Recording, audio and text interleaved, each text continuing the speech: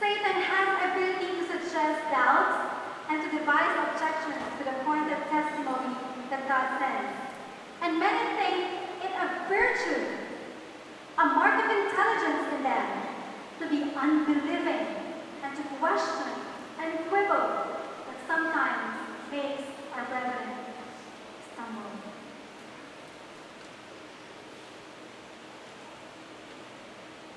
Those who desire to doubt will have plenty of room. God does not propose to remove all occasion for unbelief.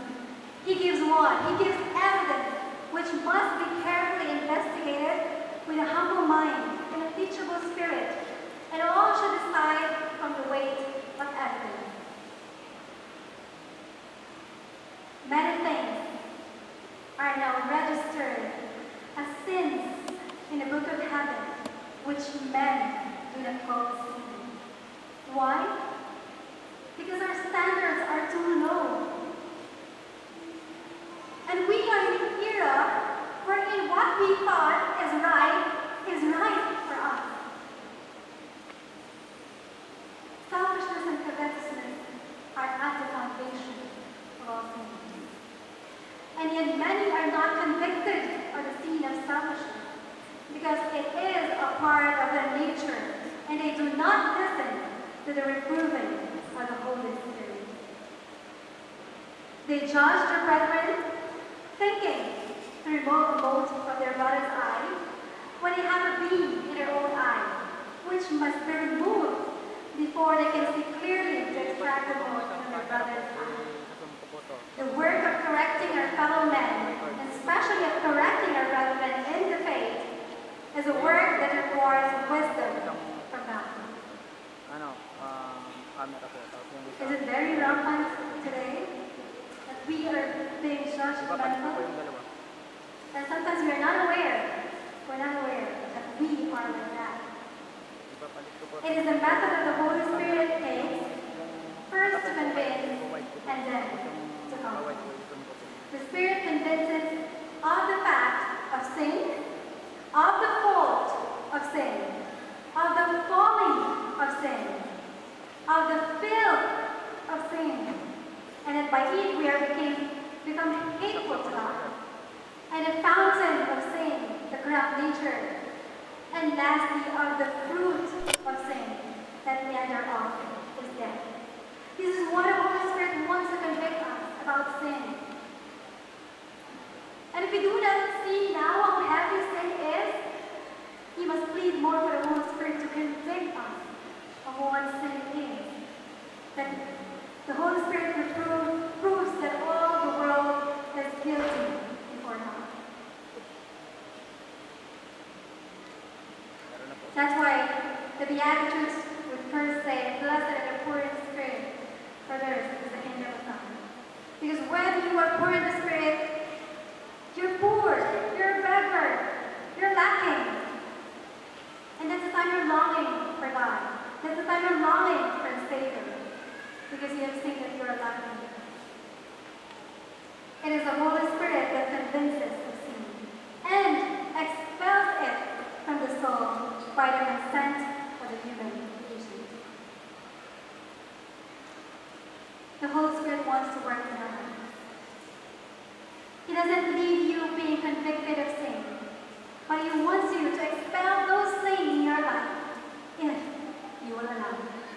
If we will allow it. And so our comfort is also found with a message for the Laodicean church. Revelation 3 verse 19 says, As many as I love, God loves us so much. I rebuke and chasten. Therefore us right now. Be zealous therefore and repent. Be zealous therefore and repent. Now we go to the second one. The Holy Spirit will convince the world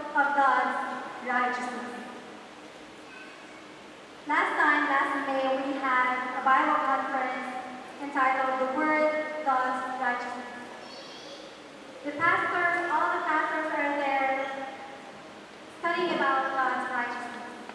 If only every member of the church could also hear those messages, then probably we could grasp the totality of the righteousness of God. And so why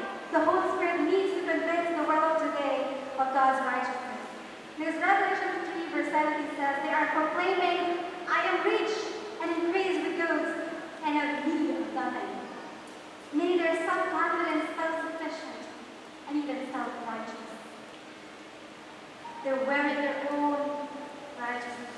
We are wearing our own clothes. And our clothes are filled to rags. That sometimes we didn't even notice. And so the people of God are represented in the message of the Laodiceans as in a position of carnal security. They are at peace, believing themselves to be in an exalted condition of spiritual attainment. Because thou sayest, I am rich and increase with goods, and am need of nothing. And so the Holy Spirit will convince the world of God's righteousness. And in John 16, verse 10, it says, Righteousness is available because I go to the Father and you will see me no more. What does it mean when he said, or Jesus Christ said that there? Ellen G. White says, of righteousness, because I go to my Father and he see me no more. From the time he ascended to his Father, what? He has represented man as a surety and substitute. The Father looks upon the Son in the perfection of his character now. As one who was born the penalty of sin and has wrought perfect righteousness for the repenting soul. And he is reconciled to all who Christ as the one fully able to save from sin. And so Christ's righteousness or God's righteousness is now available for us because Christ ascended to heaven.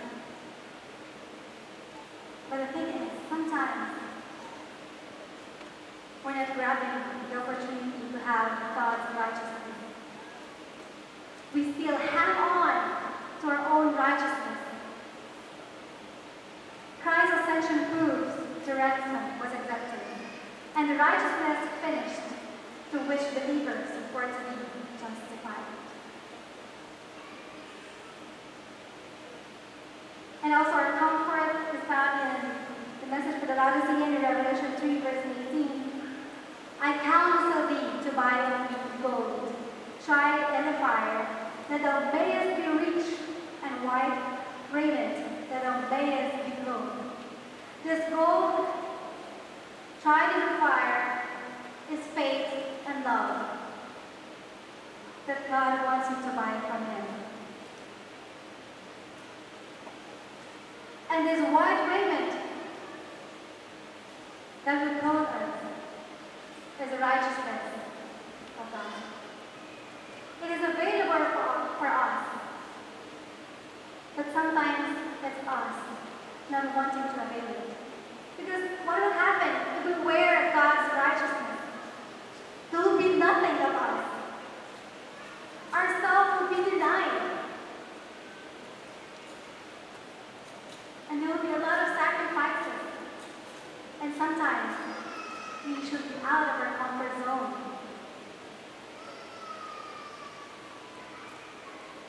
And also, and at the shape of identity that is done on here, and anoint thine eyes with eye salve, that thou mayest see. This eye salve is a gift of discernment, for discern what is right and what's wrong. And so this is our comfort. And lastly, the third one that the Holy Spirit would like to convince us is to convince the world of the coming judgment. Why judgment? Revelation 3, verse 15 and 16 says, They are neither cold nor hot, they are lukewarm. Or in other words, they are complacent, apathetic, and spiritually indifferent. Meaning they are just lax.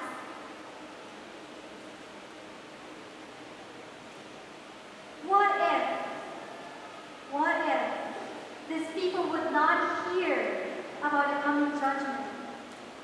Probably, most probably, they would stay apathetic. They would stay spiritually indifferent. John 16, verse 11 says, Judgment will come because the prince of this world has already been judged. Who is the prince of this world? It was Satan. And he was already judged. Brothers and sisters, when Christ was crucified on the cross, it's the end for him. Battle is one zero. One for Jesus and zero for Satan. And Satan knows it. That's why he's doing his best now to snatch you, to get you from Jesus.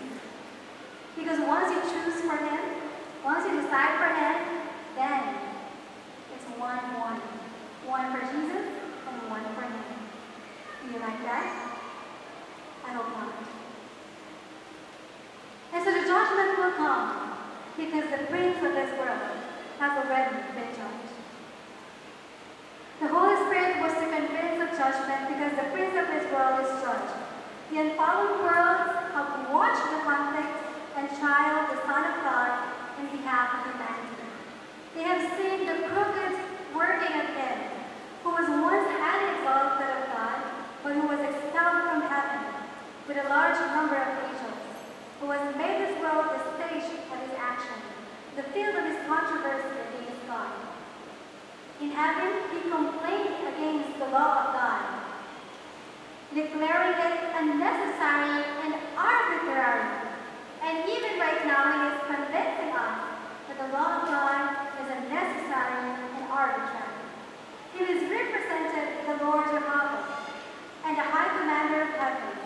He claimed that he was above law and maintained that Christ was upon his side. But he has fully manifested that the principles he advocated were evil and injurious. It has been proved that the law of the Lord, Jesus Christ, will prove it. That the Lord, the law of the Lord is perfect, converting the soul. The testimony of the Lord is sure, making wise the simple. The statutes of the Lord are right, rejoicing the heart. The commandment of the Lord is pure, enlightening the eyes. The fear of the Lord is clean, enduring forever. And the judgments of the Lord are true and righteous altogether.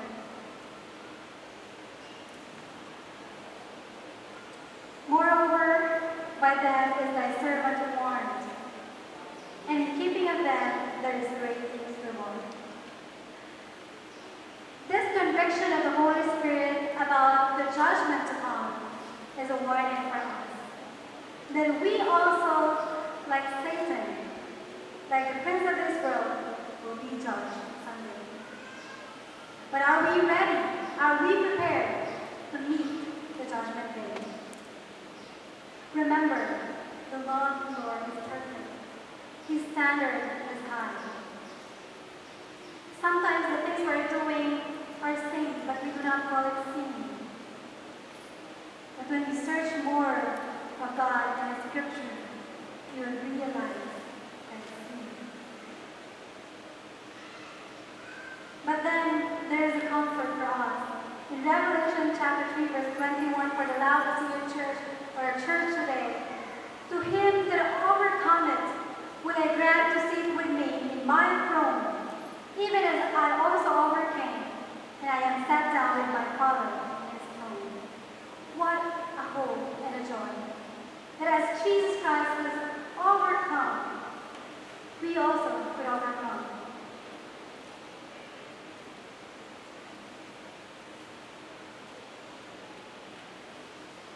And also our comfort is coming from the Holy Spirit. Revelation chapter 3 verse 22 says, He that had an ear, let him hear what the Spirit said unto the churches. These messages to the seven churches are indeed also the message of the Holy Spirit to us. The Holy Spirit wants to get involved in our lives today because He wants to do something in our hearts, in our lives today, which is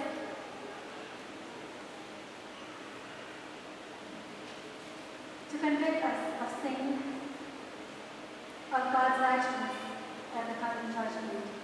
And to those who are approved by the Spirit of God, shall not rise up against the humble instrument.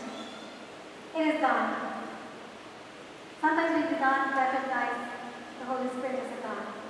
But I want you to remember that He is God. And not an mere mortal who has spoken to save them. Those who despise the warning will be left in blindness to become self-deceived.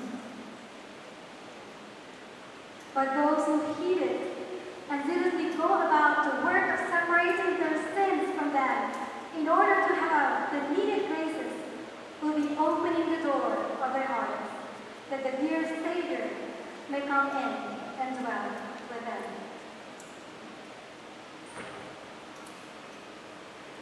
The result of this conviction or coming from the Holy Spirit is only twofold. When men embrace it, accept it, chastening discipline, they are saved by it. If men reject it, and in their rejection harden their hearts, they are thus condemned by it. The Holy Spirit today is working in lives. If it, the chastening discipline, then we could be saved. And if not, we're thus condemned.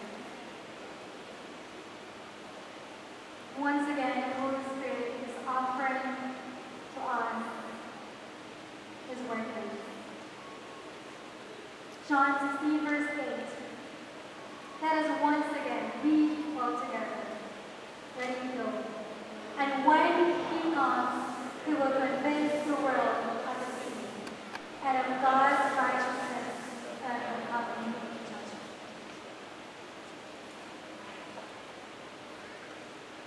I would not make any other appeal for you this morning, but for you to have a moment of prayer to God. To whatever the Holy Spirit is convicting you right now, may you speak to God right now. But before that, let me remind you that there will be a weekend prayer now for the whole AUD. That is called for Jesus. And this is yearning for the outpouring of the Holy Spirit in our university. This would include every faculty, every student, every one of us here in AUD. And I hope you will get involved. And so I invite to play the music as we come to God